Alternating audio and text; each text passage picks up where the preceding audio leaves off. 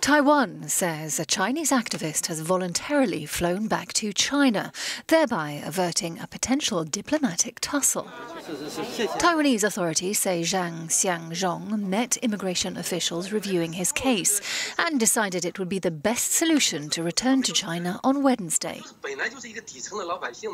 Beijing keeps a tight control on dissidents leaving the country, and few would risk a crossing by sea over the heavily patrolled strait dividing the mainland from the island.